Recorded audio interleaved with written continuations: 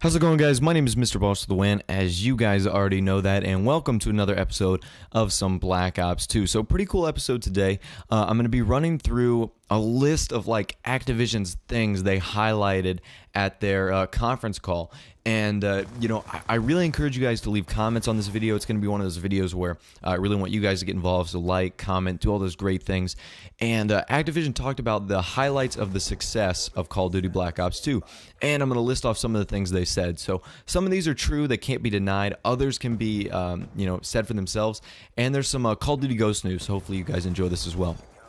So uh, they stated that Call of Duty is the number two franchise in North America, uh, Europe and uh, North America combined. So that is pretty crazy. Uh, Call of Duty Black Ops 2 outsold Call of Duty Modern Warfare 4 or Modern Warfare 3. Wow, I'm getting ahead of myself here. Uh, in retail and digital, and that makes sense because obviously as we increase in technology, uh, we're going to be increasing in people that uh, use digital outlets like um, you know Amazon, eBay, uh, Steam, places like that. Instead of going to GameStop, Best Buy, Walmart, having to deal with that hassle. And uh, because of that, their digital revenue has increased year over year. So from Black Ops to uh, Modern Warfare 3 to Black Ops 2, their digital sales have gone up, which I think is really cool. So, Activision CEO reiterated that the Call of Duty Ghost announcement is uh, coming obviously on the Xbox reveal on May 21st, 2013. And on that date, they are planning to share more information, more being in air quotes. And what I really get out of this is they're going to give us a, a trailer that shows some actual, you know, maybe campaign gameplay or cinematics.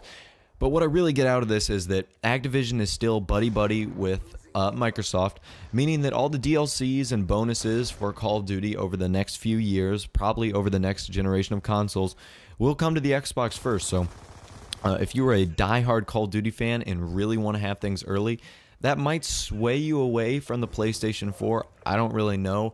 Um, I mean, you can wait a month, but if you're someone like me who does videos, it's nice to have these uh, DLCs the day they come out, which I think is very cool. So uh, I'm definitely going to be getting an Xbox. Don't know about a PS4. I might be getting a PS4 just because I think it looks really cool. So, um, and I can't wait to try some of the exclusives on there, which I know are very awesome. Uh, the CEO also said that Ghost will be supported by the biggest sales and marketing plan that the franchise has seen to date. And, you know, honestly, that makes sense because they are working with a next generation console. People are going to be spending their money on a new generation console and uh, they can't just bring the console home and expect to have all the games there. They have to buy some games. So they're going to hype it up with the new generation of consoles, whether that be PS4 or Xbox. And, um, you know, I think that's going to be very cool. So uh, be ready to see a lot of commercials, maybe a lot of DLC. I mean, we've already seen this so far.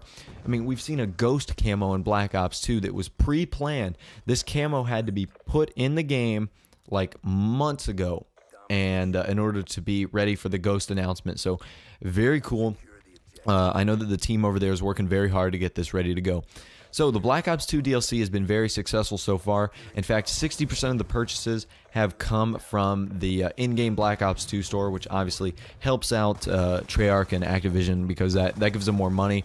That's like buying a, a, a music or an album off of a uh, artist website instead of iTunes. So, they get more money. So, you know, at the end of the day, that's all that really means. And finally, Black Wolf, second to last, Black Ops 2 is the highest all-time active players of any Call of Duty to date. So, as many people say the series is dying and it's not doing well, you know, more like five or seven or eight, nine, tenfold people are coming onto the series brand new and just getting started. So, uh, you definitely have to take that into consideration. Finally, the last thing the CFO made this comment on Black Ops 2 micro DLCs, and I'll tell you about that right now. So, in addition to selling map packs, this quarter we introduced an all new digital model selling micro DLCs that lets the player personalize, customize, and expand their Call of Duty experience. Although this is a small contrib- contributor to the franchise overall, that's I call BS. You guys got a lot of money off that. Uh, we're pleased with our results, and most importantly, we've struck the right balance between providing items which have real value to the fans, but in no ways compromise the core gameplay experience. So, it's good to know that they realize that these micro DLCs should not be play to win, but I also think that they need to consider season pass holders guys who have already paid for the DLC.